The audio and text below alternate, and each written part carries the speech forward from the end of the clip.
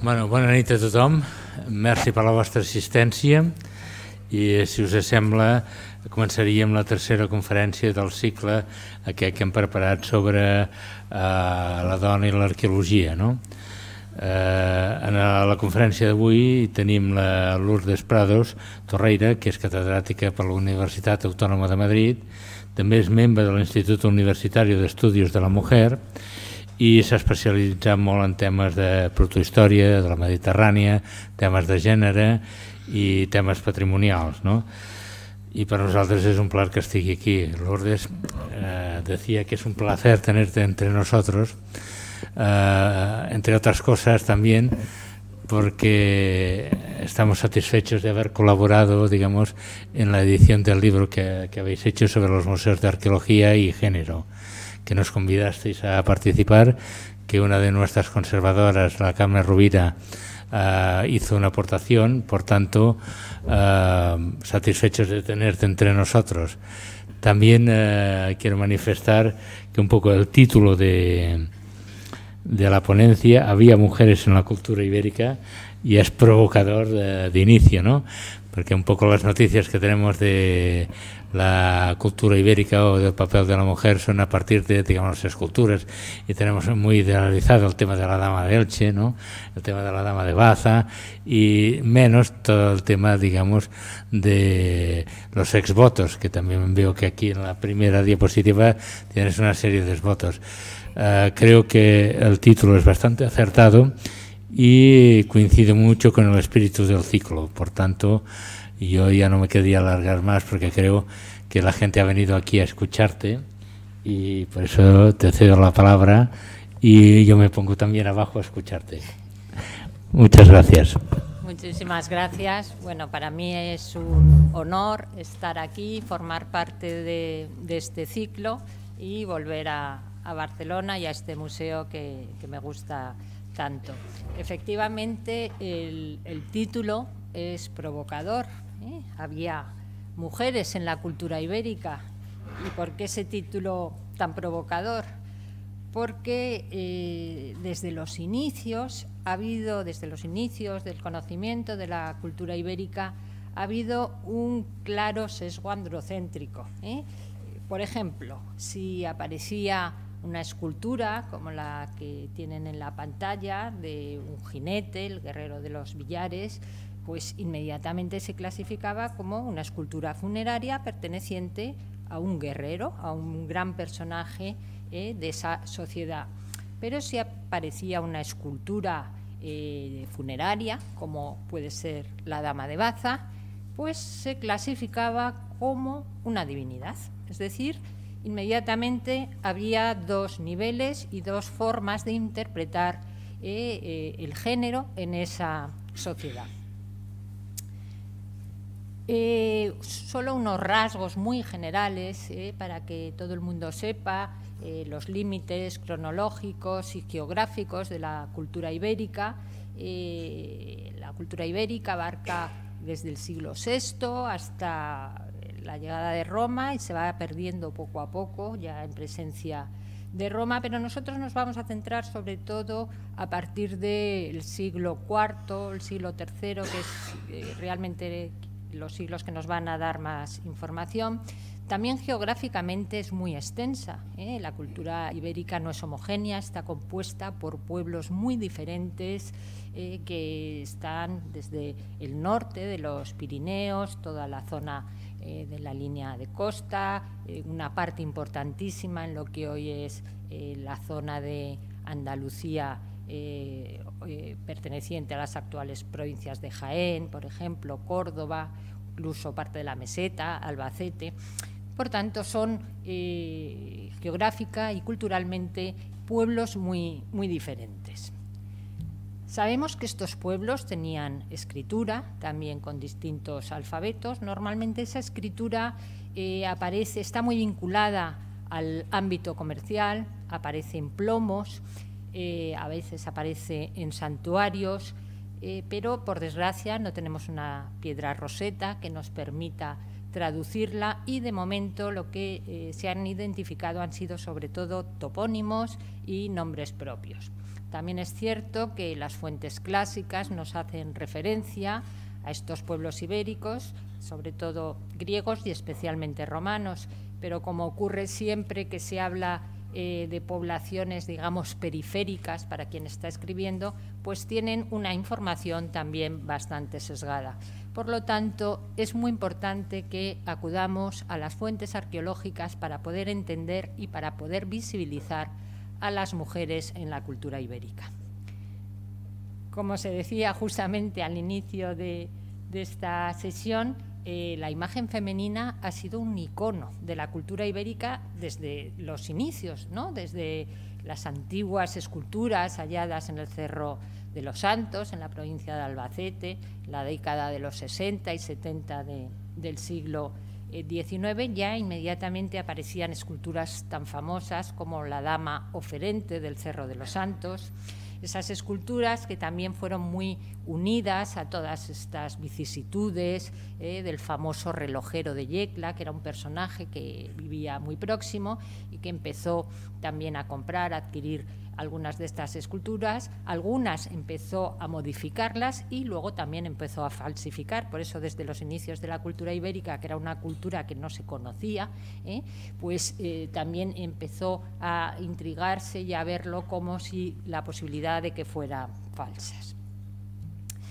A finales de ese siglo, en 1897, se produce el impresionante hallazgo del busto de la dama de Elche, pero como saben ustedes, prácticamente a los pocos días eh, estaba por allí un arqueólogo francés, Pierre Paris, y la compró, eh, porque estaba haciendo una ruta por, la península ibérica, justamente pues, recogiendo eh, obras para, para, Francia, y la compró inmediatamente y se trasladó al Museo del Louvre donde también había esculturas del Cerro de los Santos y allí permaneció varios años e influyó directamente, eh, junto con las esculturas del Cerro de los Santos, eh, en, un artista como Picasso. Era el momento en que el primitivismo, esas máscaras negras de, los pueblos indígenas, pues estaban influyendo mucho en los artistas de ese momento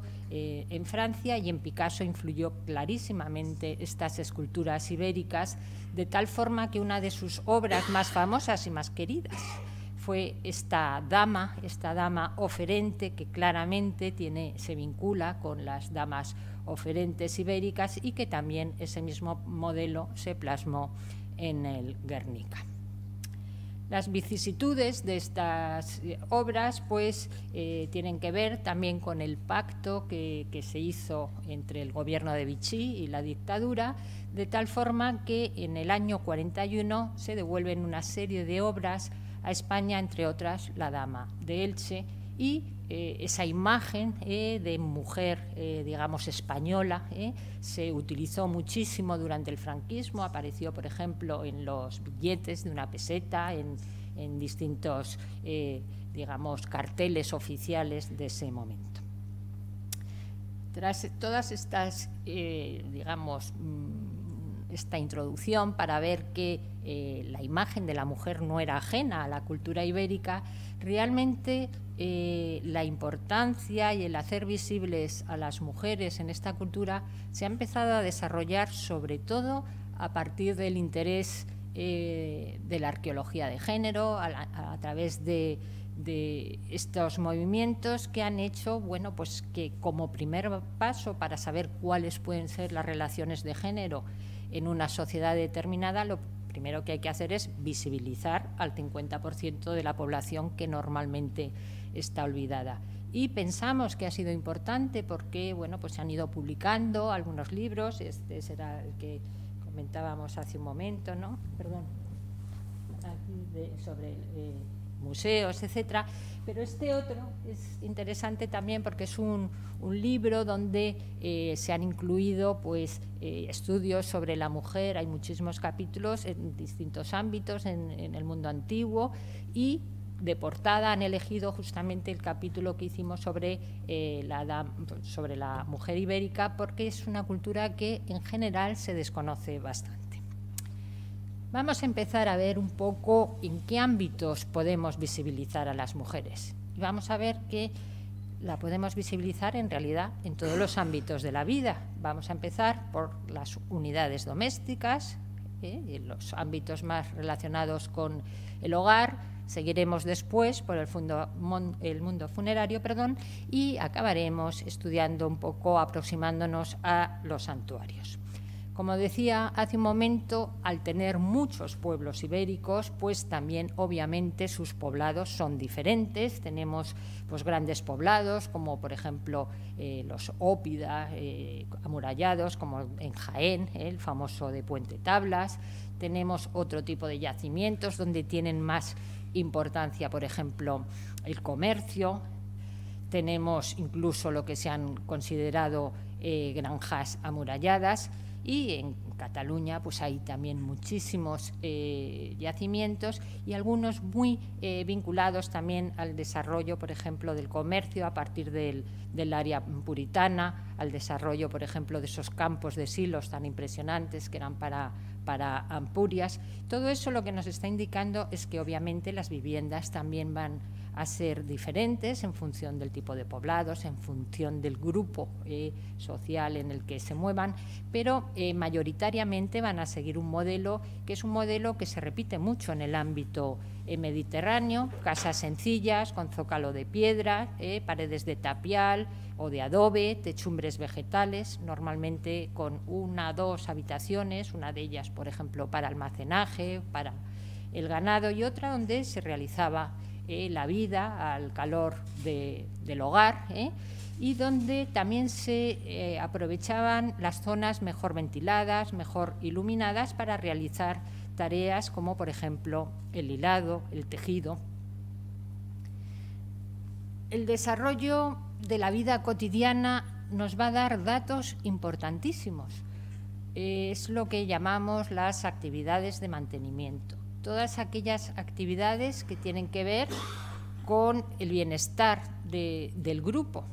¿Qué actividades entrarían? Pues obviamente todas las que tienen que ver con el cuidado, crianza, pero cuidado también de los seres enfermos, de los ancianos, todo lo que tiene que ver con eh, el mundo de la alimentación, desde la transformación de los alimentos, su cocinado, eh, su almacenaje, su distribución, su preparación. Todos estos son ámbitos donde eh, desde este eh, punto de vista podemos ir visibilizando, pero hay que intentar verlo, a las mujeres en distintos tipos de actividades. Esas actividades de mantenimiento no implica que sean siempre en los cuatro, se desarrollen siempre en el interior de las casas, en las cuatro paredes, porque porque actividades como eh, el conseguir el agua, llevarla a los sitios, el acarreo de la leña, etcétera, pues o eh, el salir a un mercado, el, vender, todo eso son actividades que se realizan fuera. Y en muchas de estas actividades, y lo sabemos, por ejemplo, por pongo aquí un ejemplo del mundo griego, eh, el mundo de, de las fuentes, etcétera, pues se convierten también en lugares sociales, en lugares de reunión, de transmisión de noticias, de conocimiento y por tanto tiene una enorme importancia también para el desarrollo de la propia comunidad. Y un aspecto que también tenemos que tener muy en cuenta. Normalmente hablamos de la mujer como si la mujer fuera un grupo homogéneo. En casi todas las culturas y desde luego en la cultura ibérica las mujeres también formaban parte de distintos grupos sociales. El problema es que la mayoría de las veces la información que tenemos nos viene de la imagen aristocrática, porque son las élites las que se autorrepresentan, porque son las que tienen poder y por tanto no están representando a la mayoría de la población, que la mayoría de la población eran campesinas, como eran campesinos los, los varones. Por tanto, eso también lo tenemos que tener muy en cuenta pero esas mujeres campesinas contribuirían, por supuesto, al trabajo agrícola. Sabemos que cultivarían las huertas, recolectarían los frutos silvestres, que siempre siguen siendo un punto importante de apoyo, de contribución a la economía doméstica, cuidarían del ganado. Todos estos son elementos que podemos ir viendo también a través de representaciones arqueológicas, por ejemplo, el vaso de las cabras, ¿eh? qué tipo de animales tenían, o a través de, exvotos. Todas estas actividades, por supuesto, eh, se tienen que ver reflejadas. En algunos casos quedan restos pues, de qué tipo de eh, alimentos tomaban. Por ejemplo, en estos exvotos, eh, pues estamos viendo que lo que están ofreciendo son unos panecillos o unos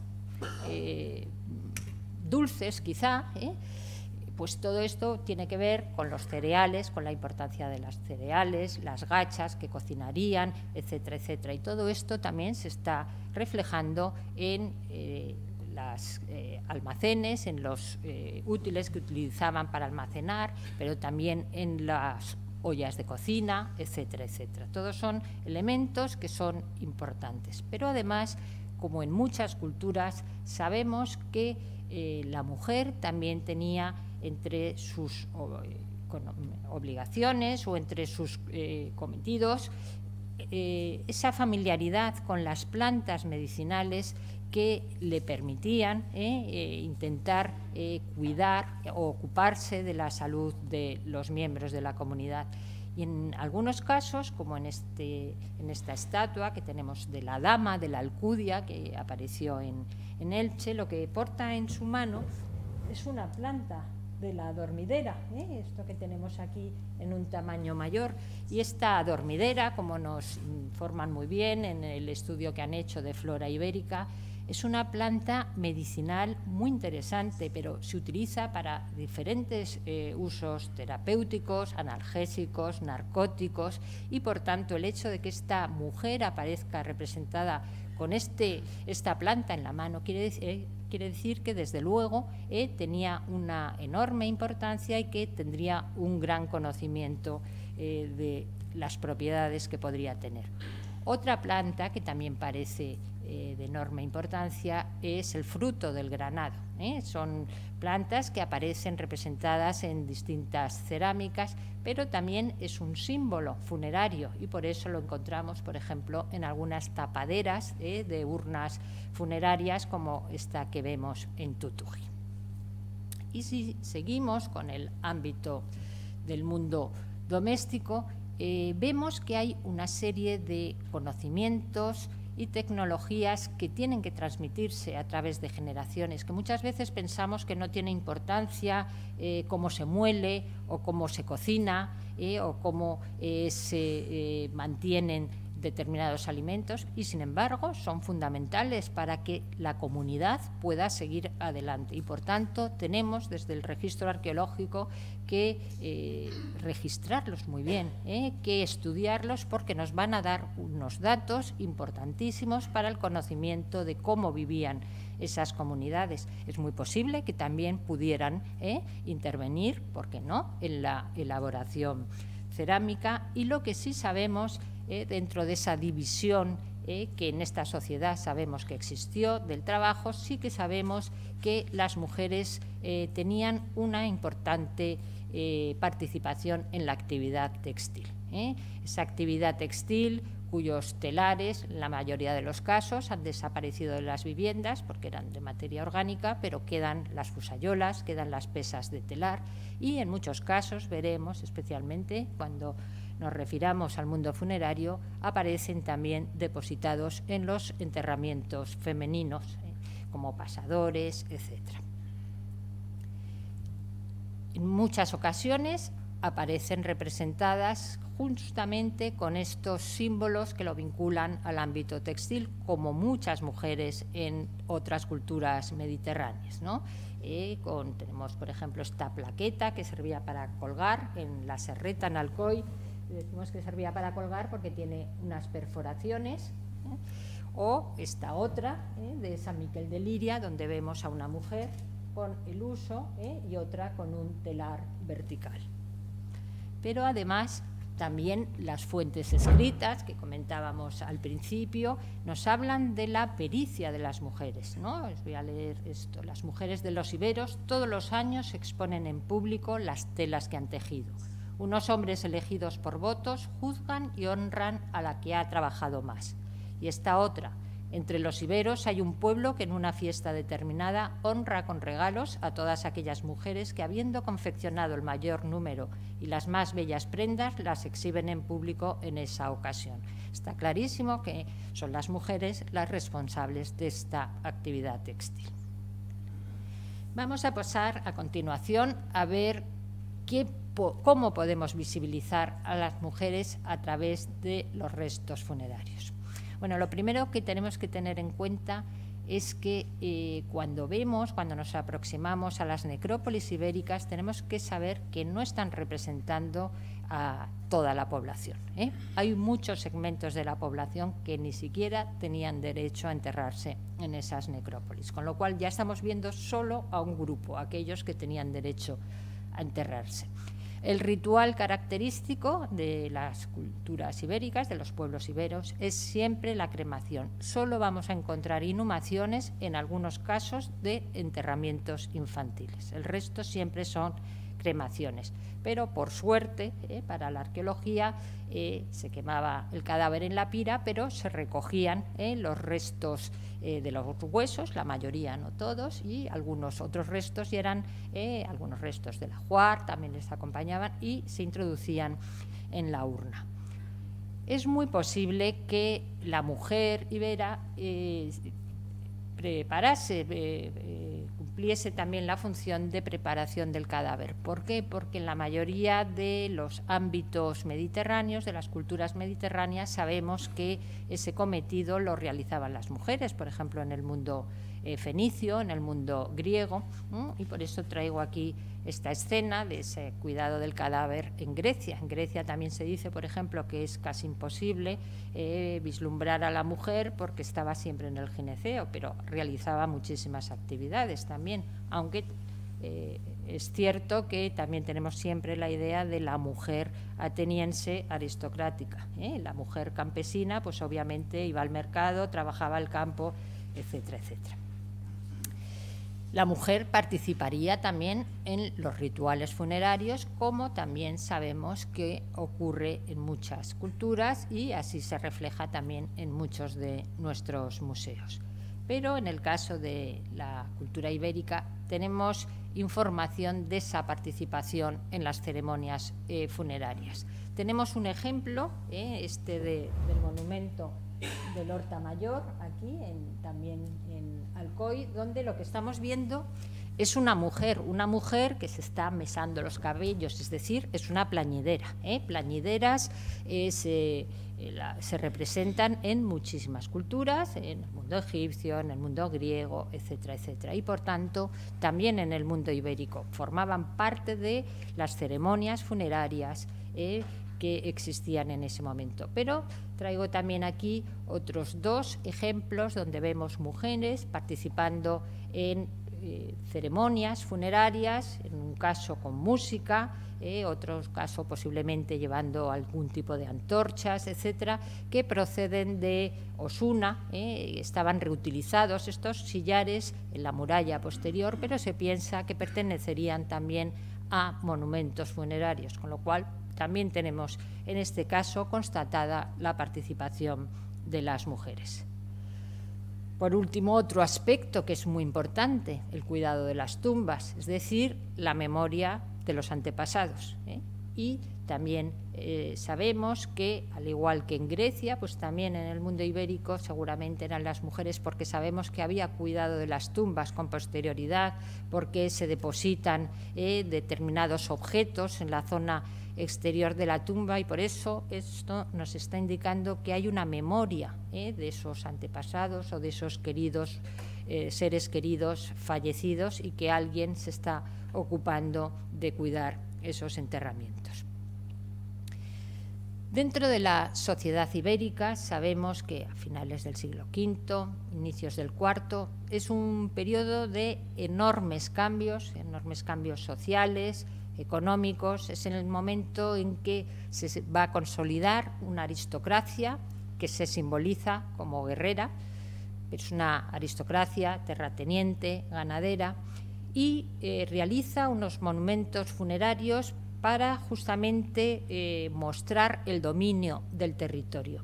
Y en ese momento vamos a ver que también va a aparecer la mujer eh, dentro de ese ámbito de mujer aristocrática representada en estos monumentos funerarios y además con unos símbolos que van a ser característicos, que es la vestimenta, una vestimenta muy rica, ¿eh? con mantos, con túnicas, etcétera, y las joyas, esas joyas características que conocemos desde la famosa Dama de Elche y que luego vamos a ir viendo repetida en distintas esculturas.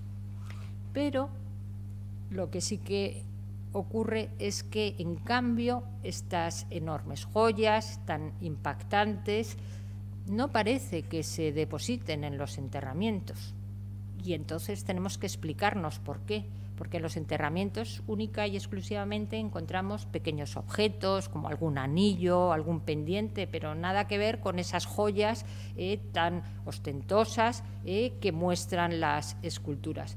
Y posiblemente la explicación que debamos dar es que era un elemento económico fundamental, formaría parte de una dote y por tanto tendría una importancia vital para, para la economía y para los linajes y no se podría amortizar en el momento en que algo se deposita en un enterramiento, ya deja de circular, ¿eh? ya se pierde ese valor de tal forma que las joyas, las pequeñas joyas que encontramos, nunca eh, van a ser esas representaciones que encontramos, en cambio, en las esculturas. Eh.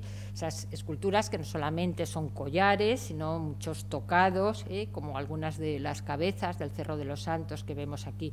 Y cuando encontramos joyas, como la del Tesoro de Javia, posiblemente son depósitos, votivos u ocultaciones. ¿eh? En un momento dado se deposita, pero no las encontramos en los enterramientos. Lo que sí encontramos en los enterramientos van a ser las imágenes funerarias que nos están hablando también no solamente de género, sino de edad. En este caso ¿eh? es un monumento funerario que se llama Las Damitas, ¿eh? porque para indicar que se trata de mujeres, representaciones de mujeres jóvenes. ¿Y por qué sabemos que son mujeres jóvenes? Pues inmediatamente todos ustedes lo habrán adivinado por el peinado. ¿eh? Llevan esas trenzas, no llevan velo ¿eh? y están representadas con esas trenzas que caen, algunas acabadas en estos aros, aros que veremos que también se depositan en los santuarios ibéricos. Y en este caso, además, lleva en la mano lo que durante un tiempo se pensó que era una granada, pero parece ser que se trata de un membrillo y esos membrillos se vinculan con ritos, eh, con Afrodita, se vinculan a Afrodita y precisamente se ofrecían en las bodas, con lo cual, eh, aunque es un monumento funerario, pues a lo mejor es una forma, como ocurre también en Grecia, de aquellas jóvenes que mueren sin casarse, pues se las representa de una forma que pueden indicar un matrimonio en el más allá.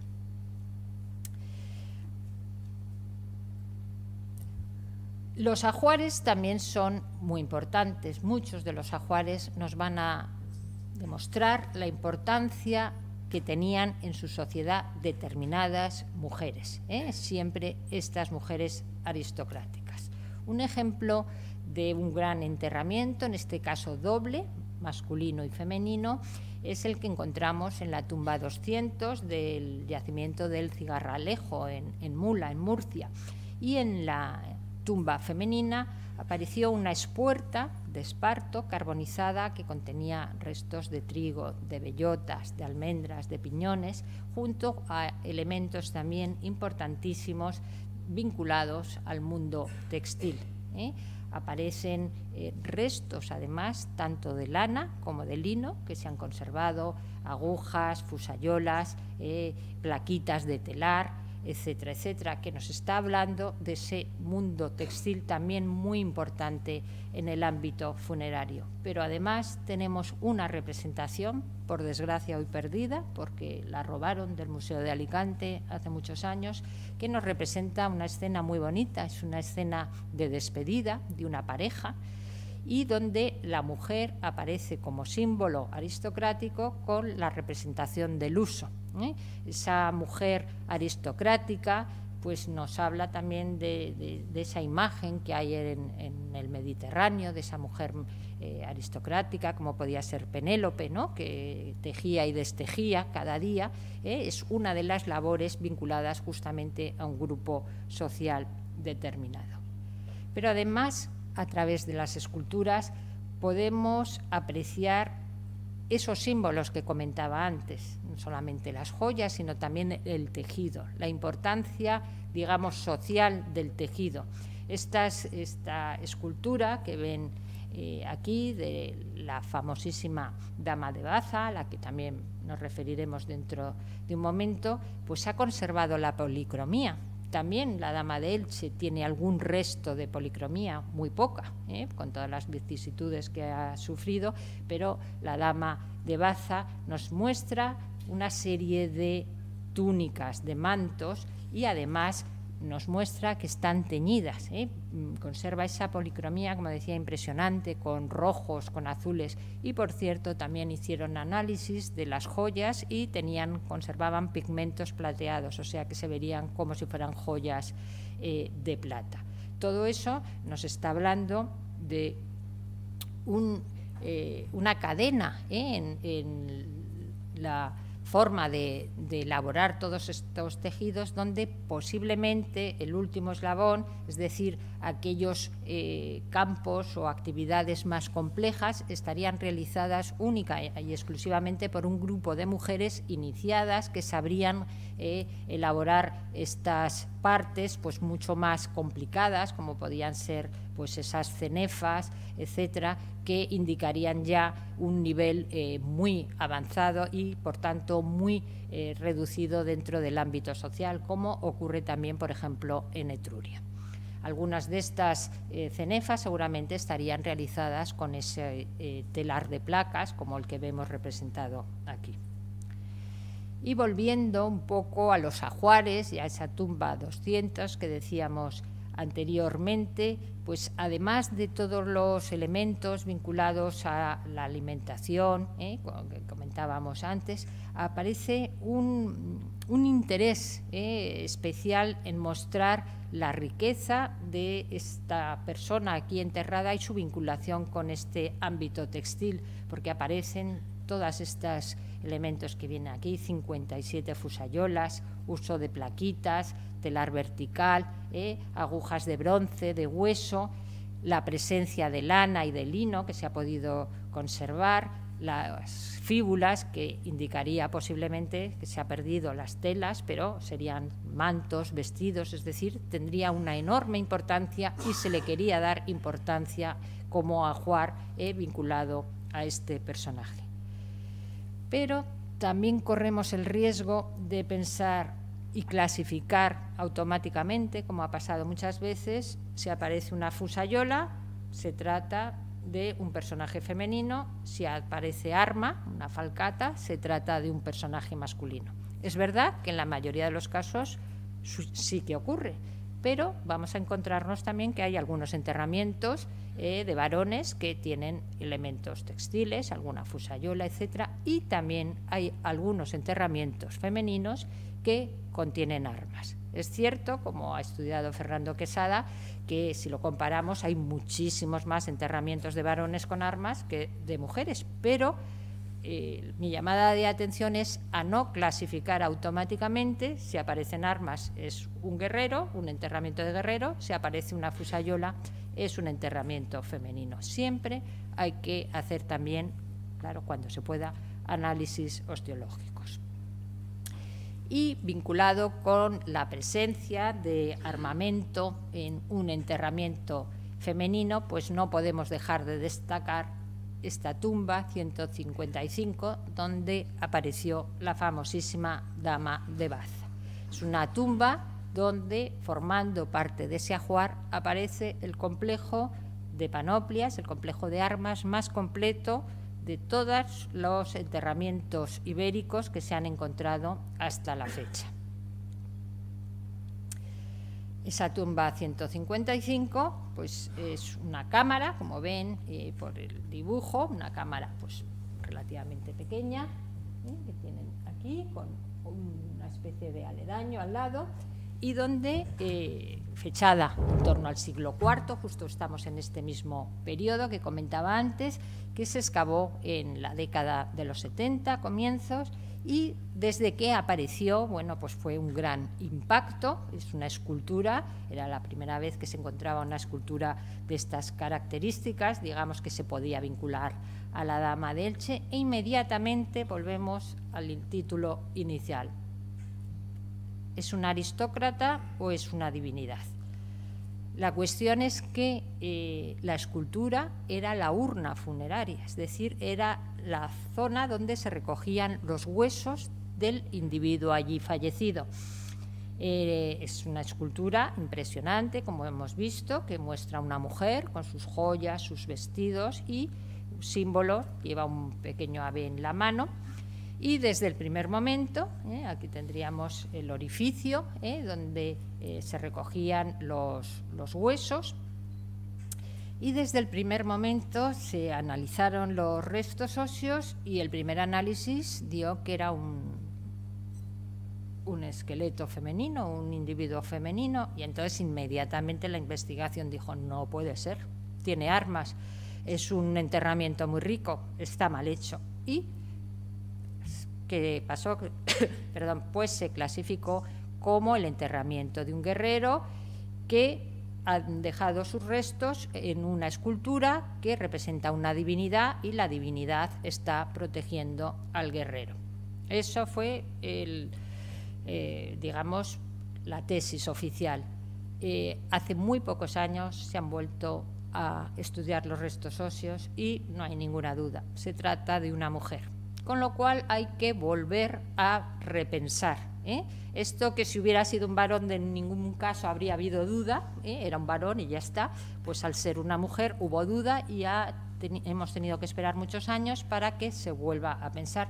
Con lo cual, pues el hecho de que haya armas y además conjuntos de panoplias, pues seguramente indican que es una ofrenda, no quiere decir que fuera una amazona todo el día guerreando, ¿no? Es un personaje de alto rango, con su ajuar, ¿eh? con un ajuar destacado en el que, por cierto, no aparece cerámica de importación, ¿eh? cerámica griega, con lo cual eso seguramente también tiene una explicación, porque es una tumba muy rica y normalmente las tumbas ricas en el mundo ibérico eh, tienen cerámica griega y aquí no, con lo cual es una opción. Eso también es algo que debe tener que ver con la identidad y con la forma de concebir a este personaje, que por su posición sería un alto personaje dentro de su linaje o los linajes dominantes. No sabemos cuál fue realmente su función, pero era eh, un personaje de enorme importancia para su población, como así lo hicieron saber a través de los restos funerarios. También, obviamente, tenemos que eh, vislumbrar la existencia de muertes como no podía ser de otra manera, debido a los partos, ¿eh? la mortalidad por partos lógicamente sería muy alta y también la mortalidad infantil. Encontramos enterramientos dobles, en muchos casos, de eh, mujer y de eh, recién nacido. En este caso tenemos una cremación perinatal. En algunos casos son cremaciones y en algún caso, como decía al principio, encontramos también inhumaciones pero siempre correspondiente a individuos infantiles. ¿eh? Eh, también es posible que algunos objetos, como este que, vemos aquí, pudieran interpretarse como posibles biberones. Es decir, tendríamos también una visión de, digamos, de la esperanza de vida, las enfermedades, etcétera, de estos personajes. Y por último, tendríamos que hablar de la participación de las mujeres en los santuarios.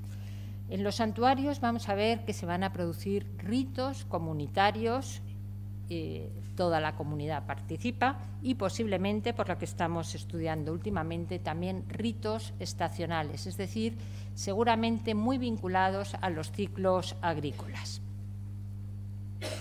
Sabemos que existían eh, santuarios en capillas y también posiblemente en las propias viviendas. El, quizá el santuario eh, más conocido sería el de la habitación que existe en la Serreta, donde apareció esta terracota tan destacable, donde aparece, es una de las pocas representaciones de divinidades que tenemos en el mundo ibérico, que aparece un personaje, le faltaría la cabeza, ¿eh?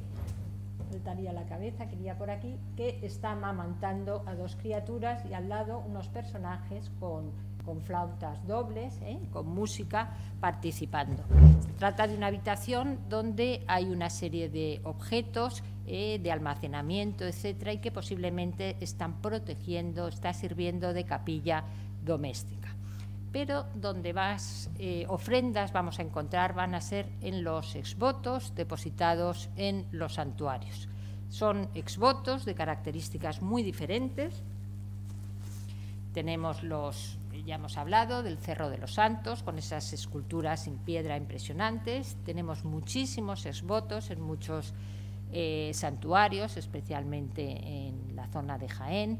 Eh, hechos en bronce, también tenemos exvotos hechos en terracota, eh, por ejemplo en la serreta, hay exvotos en piedra muchísimo más toscos que no tienen nada que ver con las figuras tan elaboradas de, del Cerro de los Santos. Y si eh, seguimos con el Cerro de los Santos, vamos a ver que aquí nos encontramos esculturas muy vinculadas con ese mundo aristocrático. Hay también otro tipo de, de ofrendas, pero encontramos esculturas, digamos, muy elaboradas, ¿eh? que son esculturas que seguramente eh, se harían de encargo y aparte de los típicos elementos de mujeres aristocráticas o de varones aristócratas que veíamos, vemos también ese elemento, digamos, religioso, ¿eh? además del que decíamos de, de, rango, y donde sobre todo lo que parecen ofrecer estos personajes son vasos. ¿eh? Son, vasos en forma de cáliz, como este otro que tienen en el centro, que apareció en un depósito votivo, que posiblemente tuviera que ver con eh, la existencia de aguas con poderes medicinales. Pero, como decía, eh, sobre todo vamos a encontrar muchísimos exvotos en bronce, muchos de los cuales tienen en este, en este museo, es una colección muy interesante, que aparecieron en cuevas y abrigos en lugares naturales como Collado de los Jardines en Despeñaperros o la Cueva de la Lobera en Castellar, muy próximo, o también encontramos otro que es eh, un santuario de la luz en Murcia que forma parte de un complejo donde está un triángulo que también se repite mucho en el mundo ibérico, poblado, necrópolis y santuario, como por ejemplo en el Cigarralejo. Y luego tenemos algún otro santuario mucho más pequeño, lo que llamamos santuario de entrada, en Alarcos, en Ciudad Real, que también ha proporcionado algunos esvotos de bronce. ¿Y quiénes acudían a estos santuarios? Porque estamos viendo que hay eh, una representación muy, muy amplia. Pues vamos a intentar aproximarnos ¿eh? para ver quiénes eran estas gentes que dejaban, depositaban estos exvotos y por qué los depositaban. Por un lado, vamos a ver que, a diferencia de lo que comentábamos con las esculturas funerarias, aquí vamos a ver representado un espectro de la población mucho más amplio. ¿eh? Posiblemente hay aristócratas y algunas figuritas son de encargo, muy bien elaboradas, pero a su lado vamos a encontrar otro tipo de figuritas que representan posiblemente a un grupo muchísimo más amplio de la sociedad. Por eso es muy interesante porque eh, digamos que podemos ver prácticamente a la comunidad ¿eh? representado a través de, estas ofrendas. Y vamos a ver que son ofrendas, por un lado, colectivas, porque posiblemente participaban en, momentos determinados, en ritos determinados eh, del año, ¿eh? participarían toda la comunidad, pero al mismo tiempo también vamos a ver a los individuos, los individuos que piden cosas a la divinidad. Por eso es ese sentido de exvoto. Yo ofrezco un exvoto y a cambio la divinidad pues me va a ofrecer algo, ¿no?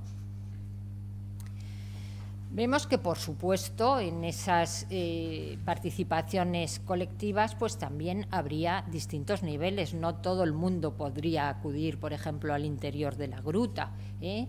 Mm, habría eh, gente que dirigiría las ceremonias, pero habría también otras muchas funciones, mantener y limpiar las áreas de culto, etcétera, etcétera. Con lo cual, también ahí veríamos distintos niveles de participación. Pero lo que comentaba antes, vamos a encontrar eh, muchos exvotos en bronce, exvotos en bronce que representan, pues por ejemplo, algunos personajes a caballo con, su, con sus armas, otros en posición itifálica, a pesar de ir vestidos, mujeres con túnicas, con vestidos, también con algunas con trenzas, ¿eh? como veíamos en el caso anterior, con determinadas posturas, orantes, oferentes. ¿Y qué pueden estar representando? Pues posiblemente están representando ritos de paso, por ejemplo, de la pubertad a la edad adulta. Estos personajes desnudos ¿eh? serían jóvenes que ya van a pasar a la edad adulta y por tanto pueden portar armas. Y esas armas ¿eh? se las ofrecen eh, desnudos a la divinidad. Y en el caso de las mujeres, pues en el caso de las mujeres lo que vamos a ver que también nos están indicando eh, rangos de género, de edad, por ejemplo, seguramente nos están hablando del matrimonio, nos están hablando del linaje, del reemplazo generacional. Vemos, como comentaba antes, jóvenes con trenzas y sin joyas, lo cual quiere decir que todavía no han pasado a la edad adulta. Digamos que deben ser jóvenes casaderas, como veíamos también en el monumento funerario de las damitas que tienen al lado.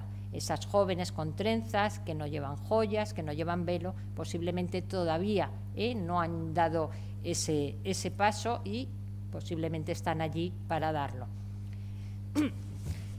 Cuando ya vemos a las mujeres con sus joyas, con sus velos, posiblemente ya nos están indicando otra etapa, ¿no? otro paso dentro de esos ritos de iniciación. Ya son mujeres eh, casadas que tienen derecho a mostrar sus vestidos, sus joyas, y esto nos recuerda a la presentación de novias en diferentes culturas. Y una vez más, insisto en la presencia de esas joyas que no aparecen como ajuares y que posiblemente también nos están indicando esas dotes, la dote, ¿no? No es que la gente fuera normalmente así vestida, es una forma de mostrar su riqueza, ¿eh? la ostentación como valor. También hay otras interpretaciones con algunas figuritas, por ejemplo, estas que tienen eh, la cabeza rasurada, ¿eh? y que durante años pues, se han interpretado como sacerdotes. ¿eh? y hay otras autoras, por ejemplo, Carmen Rueda, que piensa que tienen que ver con ritos matrimoniales y así lo han representado en, eh, en la exposición que hay ahora sobre, en el Museo Ibero de Jaén, que lo acaban de inaugurar. Pero posibles celebraciones nupciales también las encontramos, no solo en santuarios, también los encontramos, por ejemplo, en las famosas cerámicas de la antigua Edeta, ¿no? en San Miquel de Liria, ¿eh? en esas procesiones que Carmen Aranegui estudió en su momento y que ya lo identifica justamente también con posibles eh, celebraciones nupciales. Y cuando aparecen estas mujeres veladas, pues tanto si están sentadas como si están de pie, en los eh, santuarios mm, con esbotos en bronce nunca aparecen figuritas sentadas, porque también sería mucho más complejo seguramente de, modelar. En el Cerro de los Santos sí encontramos varias, ¿eh? y no por eso pensamos que son divinidades, son mujeres que ya, además aristocráticas en este caso, que han alcanzado ese nivel ¿eh? para mostrarse de esta forma. Pero también nos hablan de lo que piden. Hay una gestualidad, una gestualidad que es como si fuera un lenguaje que se va repitiendo. Y ese lenguaje, por ejemplo, con una mano derecha levantada, la otra agarrándose el manto o la túnica, lo vamos a encontrar en otros santuarios, en el mundo itálico, en el mundo griego o esta otra que, es de este museo, donde ven que se abre, ¿eh? se abre el, manto, ¿eh? pues también se repite o con las manos abiertas, ¿eh? tanto figuritas masculinas eh, como femeninas, pues son orantes, orantes que están pidiendo a la divinidad seguramente sus ruegos particulares. Y esos ruegos particulares sí que lo vamos a ver muy claramente en, la vertiente de santuarios salutíferos que también tenían los exvotos como ofrenda individual, porque si alguien ofrece una dentadura seguramente es porque le duele ¿eh? la dentadura, incluso en esta es tan particular que no sé si se dan cuenta que le falta una muela. Es decir, ¿eh? son ofrendas que se ofrece una pierna, un brazo, ojos, ¿eh? etcétera, y también animales, porque los animales son fundamentales para la propia economía.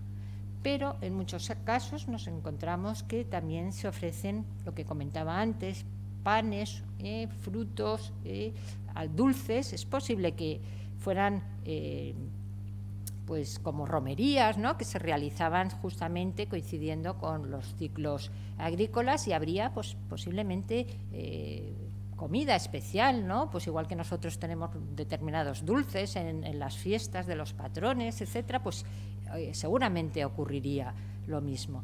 Pero, como comentaba antes, también vemos los grupos de edad, esas jóvenes con trenzas que en algún caso, como decía antes, estas aros que vemos aquí representadas en la tumba, en la escultura funeraria de las damitas de Moisés, resulta que aparecen depositados en los santuarios, que antes se pensaba es que son un poco pequeños para ser pulseras, pero para ser anillos son muy grandes. Seguramente están representando eso. ¿eh? Y es lo que recogen en una exposición que hicieron en Jaén. Ofrecen la trenza, ¿eh? seguramente ya pasando como rito de paso también se ofrece la trenza, obviamente la trenza ha desaparecido, pero ha perdurado lo que es el aro. Y aquí tengo un ejemplo de un esboto actual donde aparece justamente la ofrenda de, una trenza. ¿Qué otras eh, ofrendas vemos? Pues hay también vasos, ¿eh? una cerámica también de, de Castellar se está ofreciendo un vaso, como veíamos en el caso de, del Cerro de los Santos, en esta otra esculturita que también es de, este museo, parece de, procedente de Murcia, que también se está ofreciendo un vaso, pero también eh, se ofrecen aves, eh, se ofrecen frutos, eh, como los que tenemos aquí. Y lo que sí es cierto es que cuando vemos ofrendas de aves siempre están vinculados al mundo femenino. ¿eh? Siempre que aparece una ofrenda de aves, siempre es una mujer la que la está ofreciendo. incluso en este caso es muy interesante porque es un, un exvoto que está en este museo que es un pie coronado por un ave. Posiblemente es un rito de paso, es para proteger el paso al más allá, un viaje. ¿eh? No lo sabemos, pero en este caso el ave ¿eh? sí que estaría representando la divinidad esas aves que son ofrenda femenina y en ocasiones símbolo de la divinidad. Y es lo que sirvió durante tiempo para decir que la dama de Baza era una divinidad porque estaba en un trono alado y llevaba un pichón en las manos. ¿eh? Sin embargo, hay exvotos, como veíamos aquí, que también ofrecen aves. ¿eh? con lo cual sí sabemos que está siempre vinculado al ámbito femenino, como este estilete tan interesante que también está aquí, ¿no? coronado eh, el ave en la parte superior de la figura. Pero además en los santuarios encontramos ofrendas de esa esfera doméstica que decíamos al inicio eh, de la charla, que se vincula con la cocina, posiblemente hay rituales de comensalidad ¿eh? importantes. Hay muchísimas ollas en los santuarios. El problema es que no se recogían. Todas las excavaciones antiguas pues, se centraban en los esbotos, en las piezas, digamos, más eh, destacables y ofrendas como ollas de cocina que nos pueden dar muchísima información, ni siquiera se recogían, pero también hay muchos elementos también vinculados al mundo de los tejidos, del tejido. Por ejemplo, en la cueva de la Lobera, en Castellar, hay muchísimas ofrendas vinculadas a la actividad textil. Y si sabemos que la actividad textil era una actividad que realizaban las mujeres, obviamente estas ofrendas tenemos que vincularla con las mujeres. ¿eh? Tenemos muchas agujas, muchos alfileres, fíbulas que denotan obviamente que se ofrecían vestidos, mantos, etcétera, etcétera. Por tanto, en estos santuarios estamos viendo que vemos ritos de iniciación amplios al matrimonio, pero también al parto. Tenemos mujeres embarazadas en algunos santuarios, a la crianza ¿eh? de, esos, de esos nuevos infantes. Y vinculado con este tema que decíamos, tenemos del, mundo del embarazo, ¿eh? que obviamente, claramente ya relacionado con eh, las mujeres tenemos este santuario tan interesante de Torre Paredones, en Baena, en Córdoba. Es un santuario ya muy tardío, pero de claras raíces púnicas, donde aparecen muchísimos esvotos que representan mujeres embarazadas. En este caso son esvotos en piedra, pero es que además tenemos una dedicatoria muy tardía, la de Caelestis, que está en esta figurita aquí en la cabeza. ¿eh? y en esa se, dice a la dea Caelestis. La dea Caelestis se asimila a Juno en época romana en su advocación con Juno Lucina, que era la patrona de las embarazadas. Y las representaciones de embarazadas en este eh, santuario pues son desde luego muy destacables. Y volviendo a los santuarios de, Jaén, eh, vemos que aparecen también ofrendas de niños recién nacidos que vemos aquí es un niño recién nacido que se les envolvía ¿eh? con, telas, etcétera, y se representan también en otros lugares. Pero además tenemos estas piezas que eh, están representando úteros, tenemos algunos senos y tenemos terracotas ya también posteriores que representan a una mujer con un niño en brazos. Y estos úteros es curioso porque muy cerca se encuentra el actual santuario de la Virgen de, la Cabeza en Andújar, que tiene una, el origen es una gruta, una cueva, ¿eh? y luego construyen una iglesia. Y en la parte de la cueva depositan exvotos, exvotos en, cera normalmente o de todo tipo, ¿no? de niños que han bautizado y dejan ahí eh, sus, trajes, etcétera, etcétera.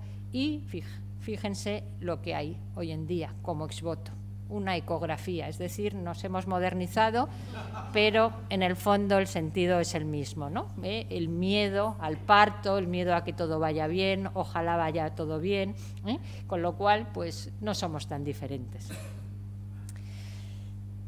Eh, decíamos que estas celebraciones colectivas también marcarían el calendario agrícola, donde pues habría pues feria de ganado, eh, donde se vendería comida, etcétera, etcétera. Lo que sería una feria agrícola, una celebración marcando justamente los inicios de la primavera, el otoño y además tenemos pues unos hallazgos eh, bastante recientes que son muy interesantes en, la cueva de la Lobera y es que justamente eh, coincidiendo con el equinoccio en este caso el, 21 de marzo, hicieron la fotografía, en la cueva empieza que obviamente debió estar eh, manipulada para que se produjera ese evento, empieza a entrar el sol y empieza a entrar el sol, sigue hasta el fondo de la gruta y al final de la gruta aparece esta imagen solamente ese día.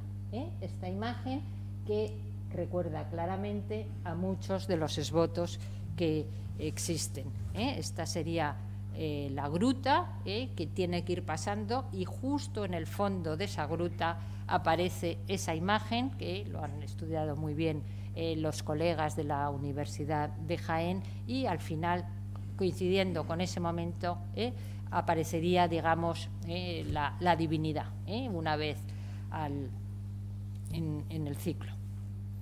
Con lo cual, con todo lo que hemos visto, vemos que en los santuarios hay una destacada presencia de mujeres. ¿eh? En algunos de ellos eh, incluso debieron tener una advocación especial. En el caso de la cueva de la Lobera, donde hay tantísimos elementos que podemos vincular con el ámbito eh, textil. En el caso de Torre Paredones, con esas mujeres embarazadas. Pero en principio también un, dato muy importante es que eh, existe una enorme presencia de, digamos, de la población. ¿eh? No solamente hay ese grupo aristocrático que se vislumbra a través de las esculturas funerarias, sino también ¿eh? pues toda esta sociedad campesina que acudía, por un lado de forma comunitaria y por otro lado como individuos, a pedir cada uno por su, sus necesidades. Con lo cual, pues yo creo que después de lo que hemos estado viendo, podemos volver a hacernos la pregunta. ¿Había mujeres en la cultura ibérica? Obviamente, ¿eh? sería la mitad de la población. El problema es que siempre hay que querer investigar, hay que querer ver. Si no se quiere ver, si no se quiere investigar, pasan desapercibidas, ¿eh? se invisibiliza a la mujer. Y nada más, muchas gracias. Un recuerdo para, para Fortes.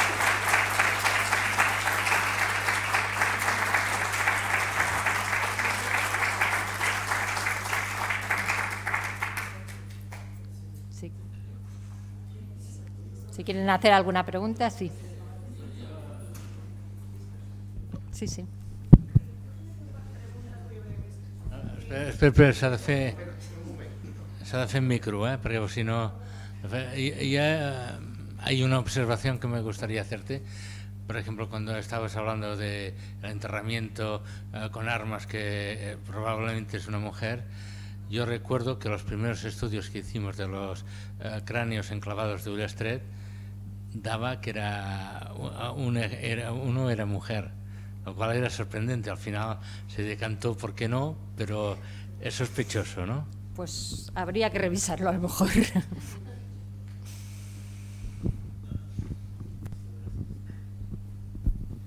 Bueno, eran unas preguntas breves. Eh, evidentemente entiendo que como habías dicho, como no hay un, eh, no, se puede leer lo que escribieron, eh, es todo interpretativo, ¿no? Pero, por ejemplo, estos exvotos que de los que has hablado, que representan un útero o una mujer embarazada, por lo que has dicho, pensáis que mm, representan la voluntad de que todo vaya bien en el parto también podrían representar, como en muchas, muchas culturas, el hecho de que las mujeres que quieren concebir no pueden. Supongo que pueden ser varias cosas, ¿no? Claro.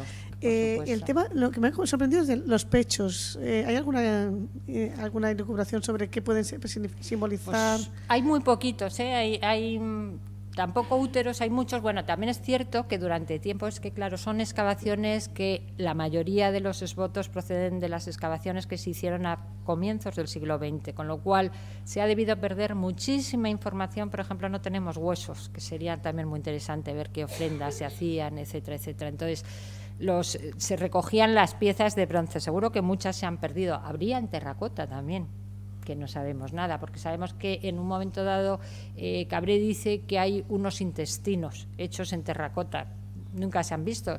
En, el mundo itálico hay lo que llaman los esbotos poliviscerales, que representan a su manera, pues como el interior, como si hiciéramos una radiografía, luego un poquito mezclado, ¿no? el pulmón por un lado, el hígado por otro, pero sí que hay estos exvotos.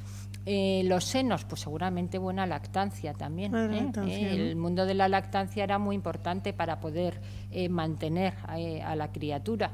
Mm. Entonces, igual que aparecen pues de momento hemos localizado dos figuritas que durante tiempo algunas eh, se clasificaba simplemente como guerrero también, o hombre con manto. En realidad son estas figuritas de niños recién nacidos que, están completamente envueltos, que existen en todas las culturas. ¿eh? En el mundo griego incluso se daban eh, indicaciones de que había que liberar primero el brazo derecho para que no saliera zurdo y cosas por el estilo, y eso lo estaban diciendo, ¿no?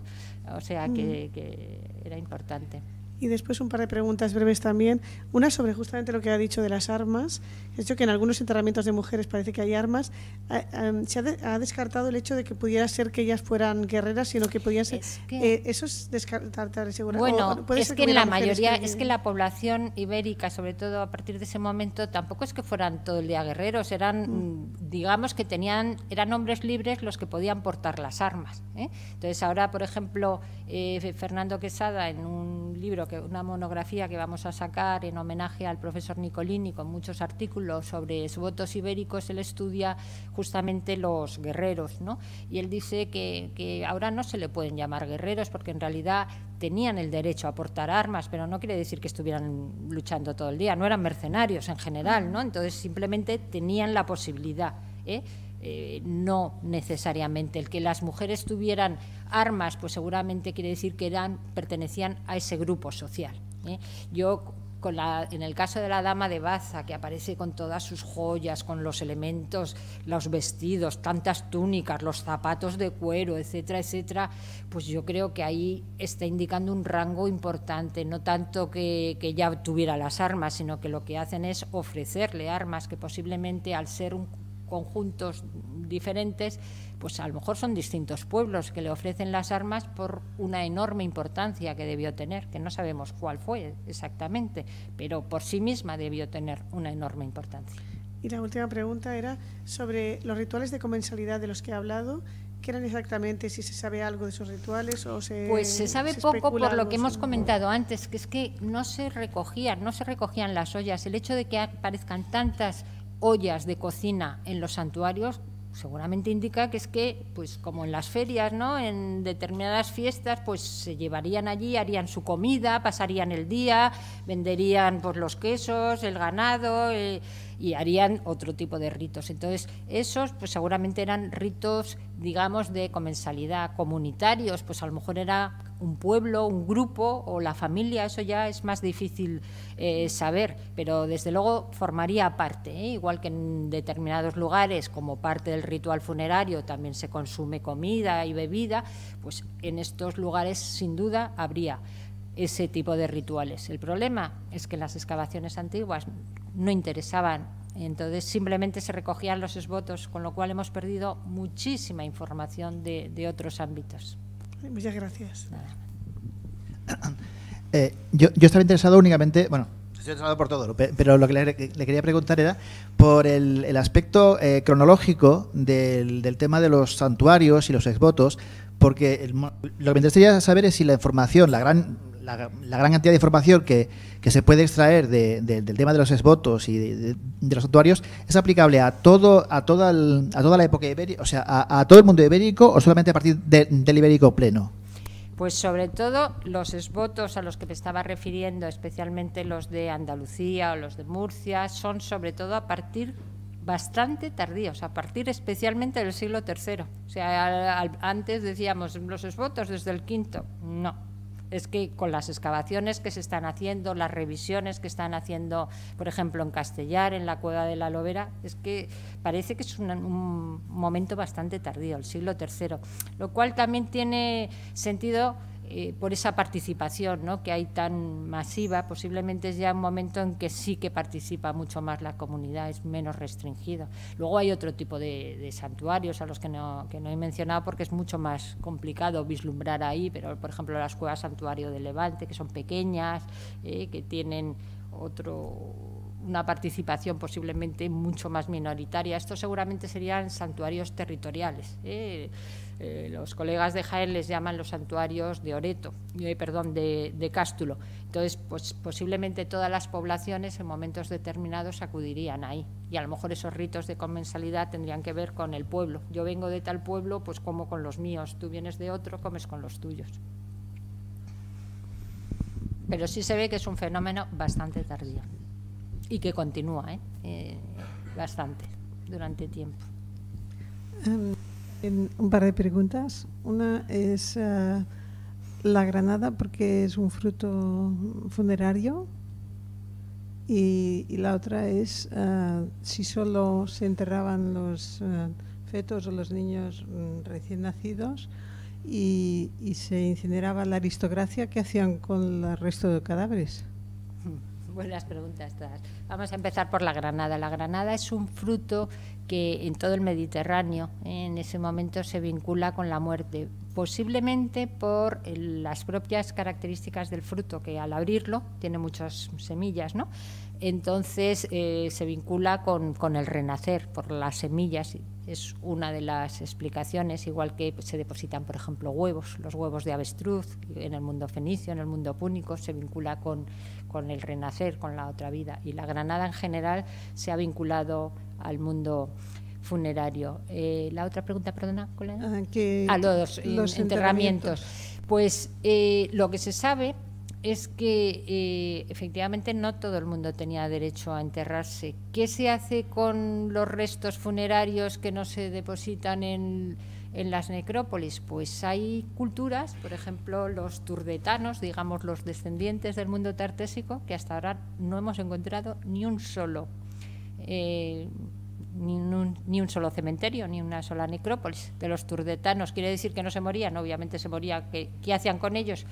Hay tantas formas, desde dejarlos, quemarlos y no recoger los huesos, con lo cual se van perdiendo, eh, arrojarlo a las aguas, eh, animales carroñeros, dejarlos en sitios determinados. Hay muchos ritos que no dejan restos por eso, porque los arrojan a las aguas o por otras circunstancias. Respecto a los infantiles, eh, normalmente dentro de las necrópolis, cuando aparecen enterramientos dobles, muchas veces son niños muy recién nacidos que se entierran con la madre, ¿eh? porque entre otras cosas, si la madre moría en el parto, lo normal es que el niño también muriera.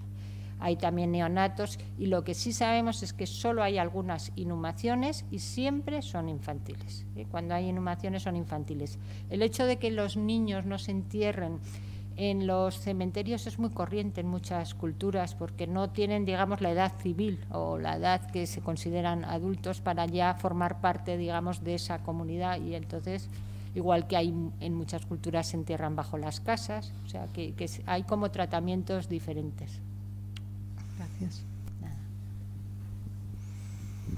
Has mencionado antes eh, Etruria y también que ellos tienen en los eh, yacimientos ibéricos también se encuentran las vasijas eh, griegas, pero no has mencionado, bueno, ahora sí, ah, no has mencionado los pueblos tartesos, entonces mi pregunta es si los podrías situar cronológicamente, si se conocían ambos, pues estoy un poco liada. El mundo tartésico, en teoría, llegaría hasta el siglo VI, es decir, cuando empiezan los, los iberos, digamos que es la crisis del mundo tartésico. Ahora se sabe que tampoco los tartésicos, digamos, desaparecen en el siglo VI, sino que por las excavaciones que está haciendo, por ejemplo, ahora Sebastián Celestino eh, y Esther Rodríguez, eh, seguramente se trasladan de la zona del Bajo Guadalquivir hacia, hacia la zona del Guadiana como hacia la zona que hoy es Extremadura. ¿eh? Es donde se está viendo que durante el siglo V todavía continúan.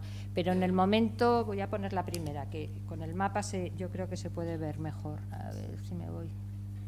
Si seguirme, voy a salir. Eh, digamos que el mundo tartésico en principio es anterior al mundo ibérico, por eso decimos que los turdetanos sería, eh, se desarrollan en la zona donde donde existen eh, los pueblos ibéricos, pero justamente eh, en un momento en que a partir del siglo VI ya no se habla de tartesios, se habla de, turdetanos. ¿eh? pero también tienen características distintas. Los turdetanos posiblemente la lengua era diferente y la diferencia principal es que no conocemos sus necrópolis. ¿Por qué? Pues quizá porque siguieron una tradición que existía de antes. ¿eh? En, la época del bronce final, aquí estaría. Eh, aquí estarían. esta sería, digamos, la zona, los turbetanos, donde estaría el mundo tartésico, en el Bajo Guadalquivir, ¿no? en la zona de Huelva, de Sevilla a partir del siglo VI, que es cuando empezamos a hablar de los pueblos ibéricos, digamos que es el momento que justo entra en crisis el mundo, el mundo tartésico y se supone que se trasladan hacia la zona de Extremadura parte de esa, de esa cultura. Pero simplemente también podríamos decir, bueno, ¿Por qué no podemos hablar en el siglo VI de tartésicos en esa zona? Porque es una convención, ¿eh? se habla de pueblos ibéricos. ¿eh? ¿Perdón? Sí, no, es que si no, Ah, perdón. hace- Perdón.